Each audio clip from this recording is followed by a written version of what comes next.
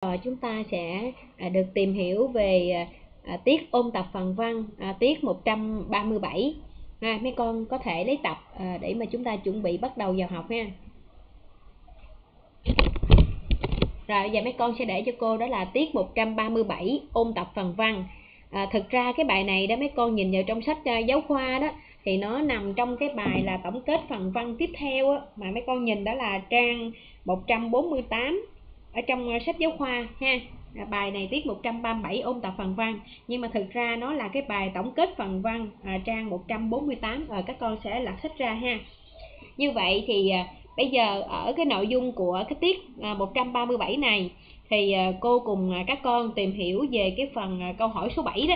Lập bản thống kê các văn bản văn học nước ngoài đã học ở lớp 8 theo các mục tên văn bản tên tác giả tên nước thế kỷ thể loại nội dung chủ yếu và nét đặc sắc nghệ thuật nổi bật.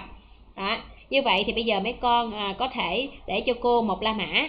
Đó là lập bản thống kê các tác phẩm văn học nước ngoài đã học ở lớp 8 rồi à, bây giờ chúng ta sẽ à, nhớ lại xem bây giờ trong cái à, à chương trình ngữ văn lớp 8 đó thì các con đã được học bao nhiêu cái tác phẩm văn học nước ngoài. Và đó là những cái à, à, tác phẩm văn học mà nào ha.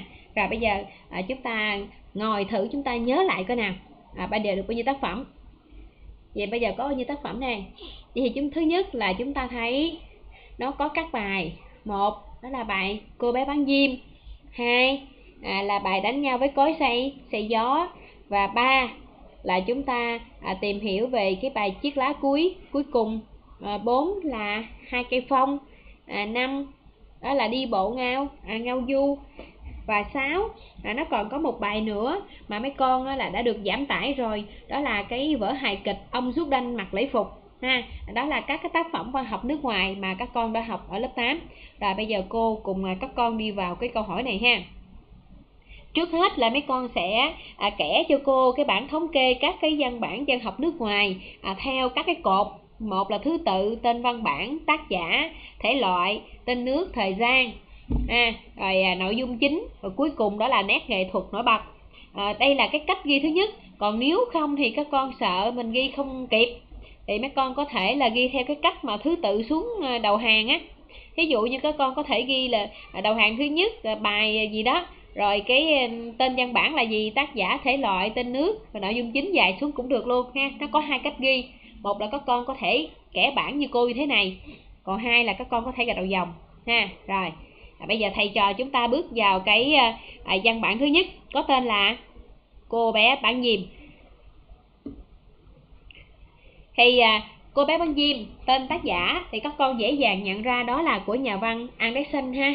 À, Andersen là một cái nhà văn nổi tiếng của đất nước Đan Mạch ở thế kỷ thứ ờ, à, à, 19 à, à, rồi à, xét về thể loại thì đây là truyện ngắn ha đây là truyện ngắn à, như vậy thì à, à, thông qua cái văn bản cô bé bán diêm thì à, các con cần nắm cho cô. À, cái nội dung chính cái nội dung chủ yếu của nó đó chính là gì?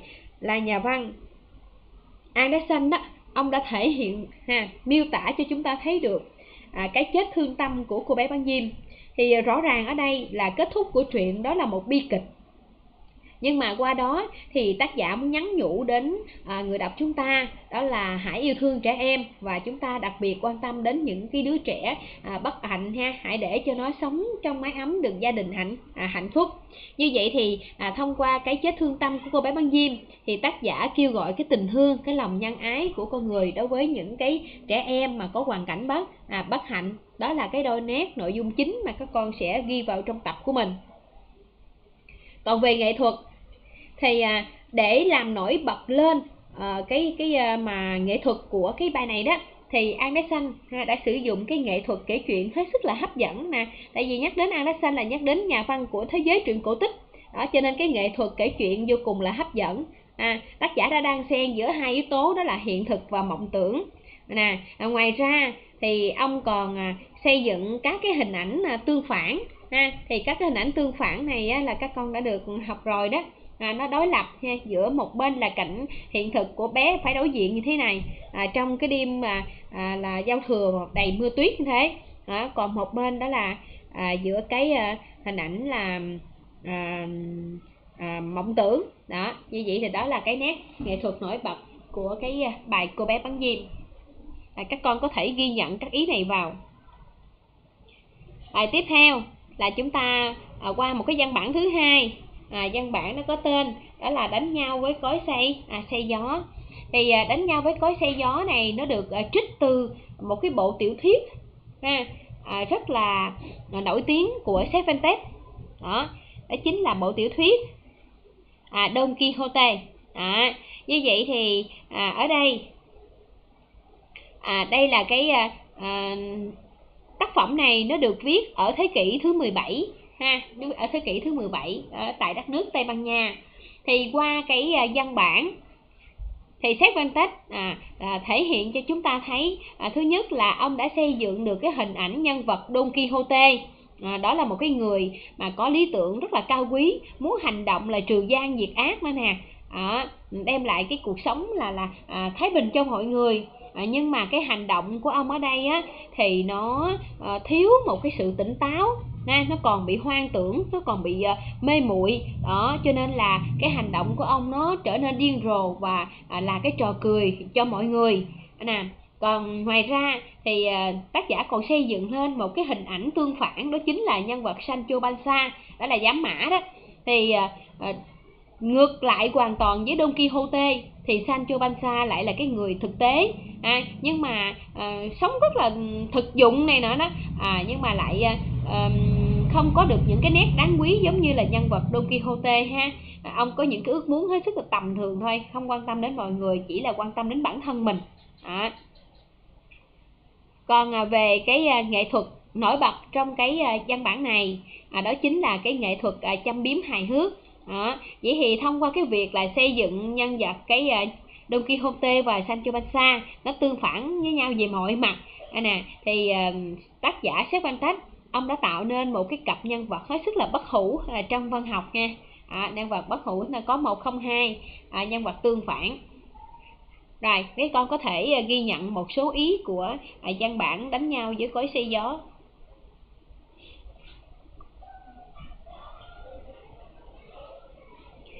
Tiếp theo là chúng ta qua cái văn bản thứ ba. Các con còn nhớ văn bản thứ ba có tên gì không?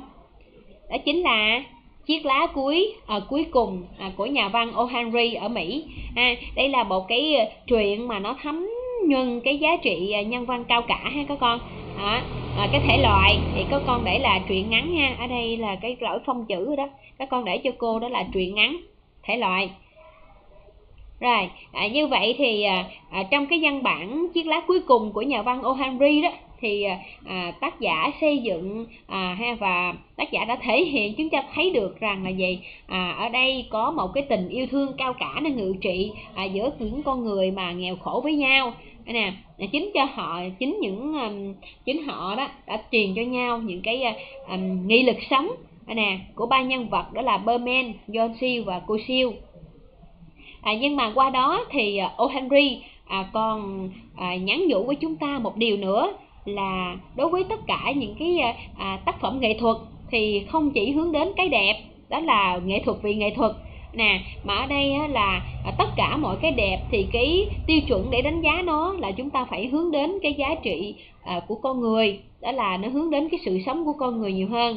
Thì ở đây chúng ta thấy là sức mạnh của nghệ thuật qua cái à, mà họa sĩ à, Berman đó thì ông đã là gì? Hy sinh cả cái tính mạng của mình để vẽ nên một bức tuyệt tác. Đó chính là chiếc lá cuối cùng. Cho nên là chính chiếc lá cuối cùng này nó đã làm hồi sinh lại cái con người tuyệt vọng đó là nhân vật Joyce.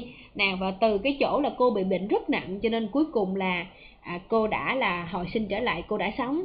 Ha. à, À, như vậy thì à, cái kết cục này á, nó có một cái phần đó là à, trái ngược. À, nhưng mà ở đây là cái câu chuyện nó để lại cho chúng ta à, thấy được một cái giá trị hết sức là nhân văn ha đó là nghệ thuật vị nhân sinh.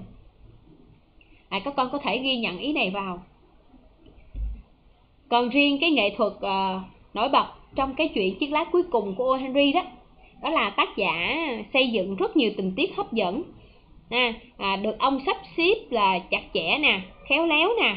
Đó à, từ cái tình tiết này tới tình tiết khác. Và à, để làm nên cái thành công của văn bản chiếc lát cuối cùng thì à, tác giả sử dụng cái à, kết cấu là đảo ngược tình huống hai lần. À, đảo ngược tình huống hai lần các con còn nhớ không? À, cô Doan Si từ cái chỗ là mắc bệnh phổi à, sưng phổi rất là nặng. Nhưng mà à, đáng lý ra là cô sẽ chết. À, à nhưng mà cuối cùng cô lại sống còn cụ Berman là một người rất là khỏe mạnh nhưng vì là à, trong cái đêm mưa tuyết đó ông cố gắng để ngồi vẽ trong cái đêm mưa như vậy đó cho nên cuối cùng là cụ Berman là từ sống mà à, đã qua đời. Đó cho nên đây là nghệ thuật đảo ngược tình huống hai à, hay là rồi các con có thể ghi nhận à, vài nét nghệ thuật nổi bật này.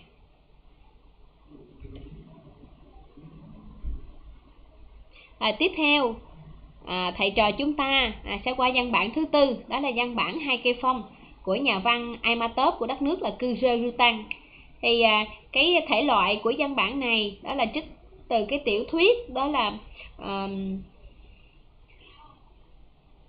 nó trích từ cái ờ, bộ tiểu thuyết đó là người thầy đầu tiên đó, của nhà văn là Aimatov à, như vậy thì à, nó được viết vào cái thế kỷ là à, thứ hai 20 như vậy thì à, ở đây là qua cái văn bản hai cái phong đó thì nội dung chính mà Aimatov à, thể hiện với chúng ta.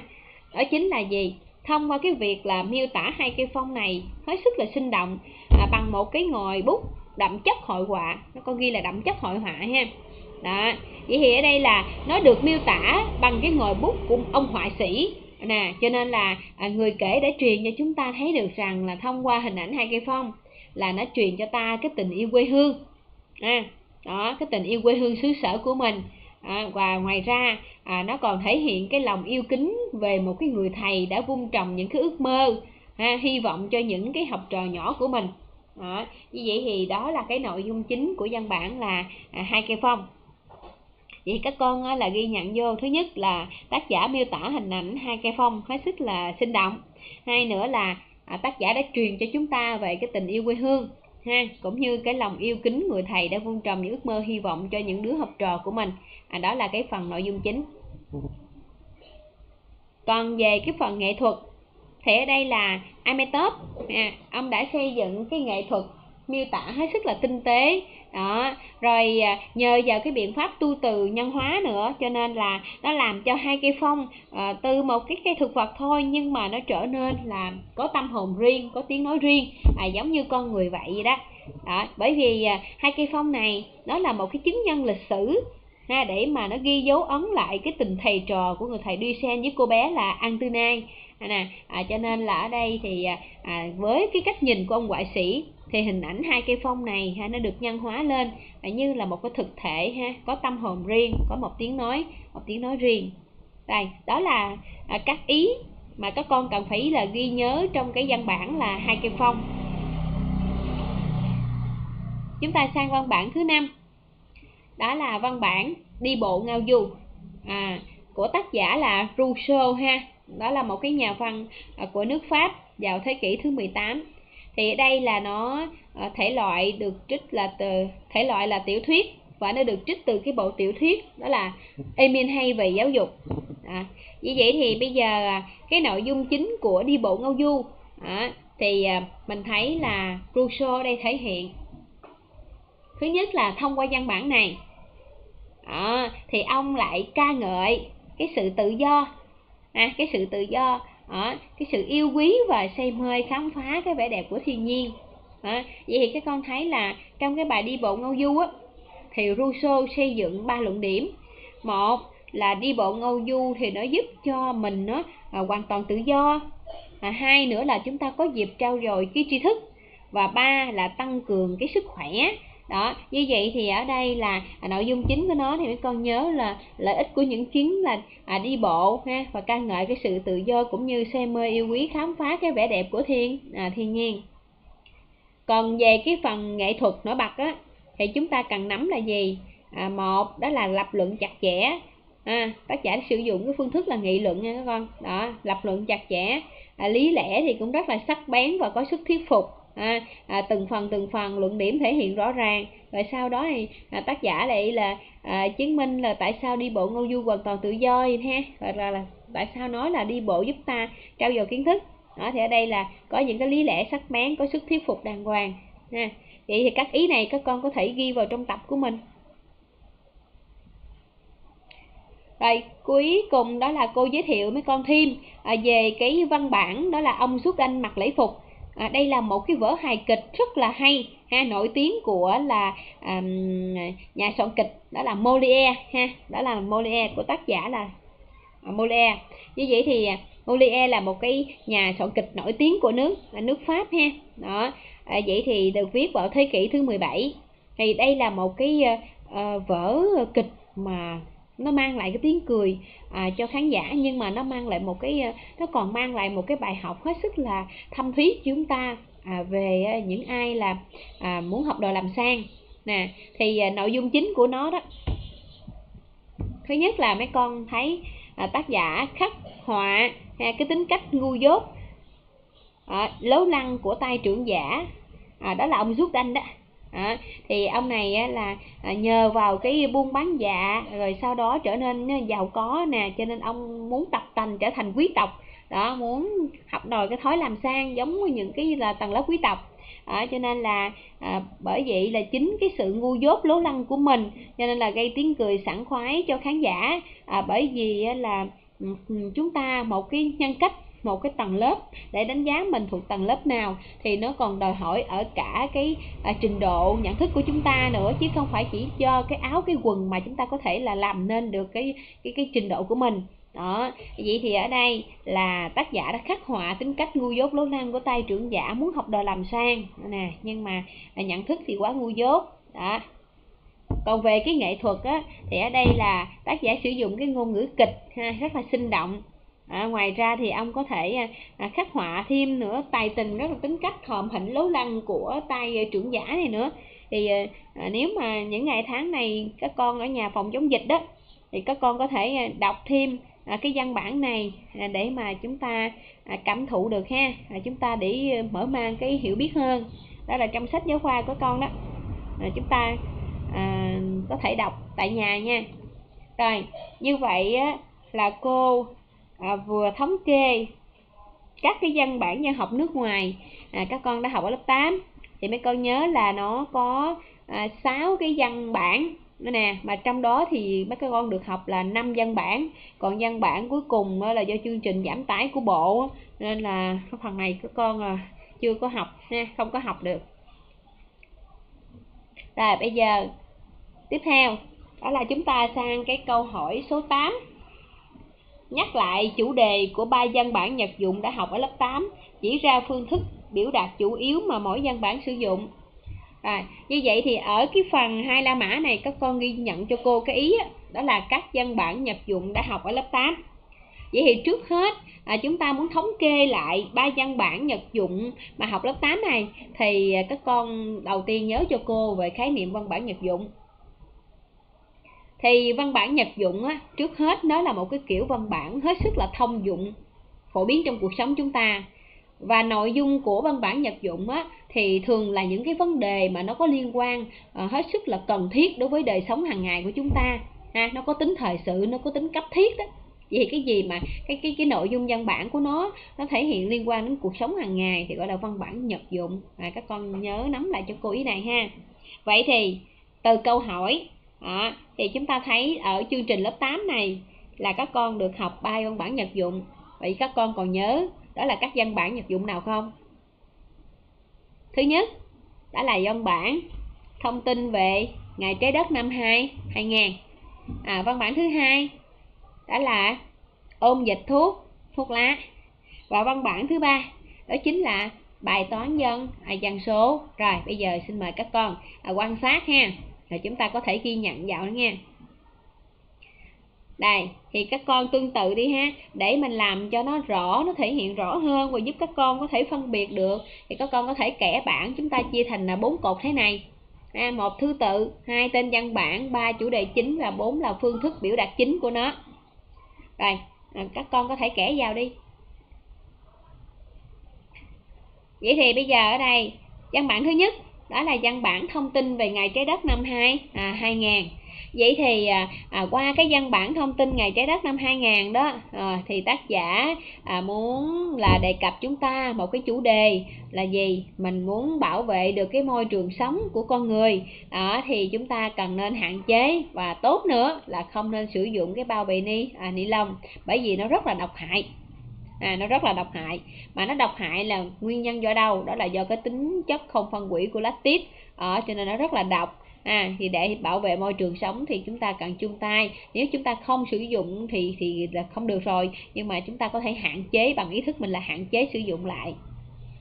À, còn phương thức biểu đạt chính. À, phương thức biểu đạt chính của văn bản này đó thì các con thấy là từ cái bài thông tin về ngày trái đất năm 2000 đó thì tác giả sử dụng đó là cái ờ, phương thức thuyết minh. À, nhưng mà có kết hợp với yếu tố nghị luận nữa các con ha. Nó có nghị luận nữa vừa thuyết minh và vừa nghị luận. Cho nên đây cô để là thuyết minh kết hợp với à, lập luận nha. Này các con có thể ghi nhận ý này vào. À, chúng ta sang cái văn bản thứ hai. Đó là văn bản ôn dịch thuốc lá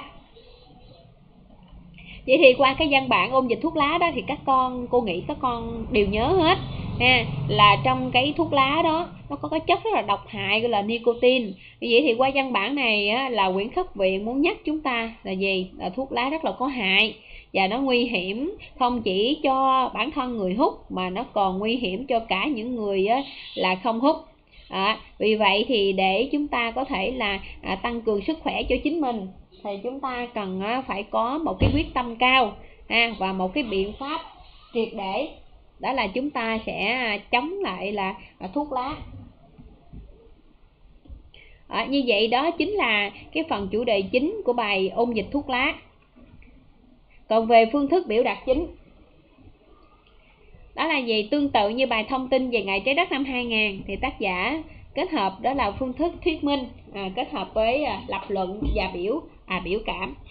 À, thường á thì ở đây á, là à, thực ra người ta kêu chỉ ra phương thức biểu đạt chủ yếu thôi thì, thì có thể mình hiểu đó là phương thức biểu đạt chính. Nhưng mà các con nhớ là gì? Là ừ, các cái văn bản nhật dụng này nó có hợp cả hai đó là vừa thuyết minh mà vừa lập luận luôn ha. À, văn bản thứ ba đó là văn bản bài toán dân số thì cái chủ đề của bài toán dân số thì các con biết rồi. À, đó là dân số của chúng ta hiện nay nó phát triển một cách hết sức là nhanh chóng. Nè vậy thì trước cái nguy cơ mà bùng nổ dân số gì đó thì nó liên quan đến cái sự phát triển kinh tế xã hội của mỗi quốc gia.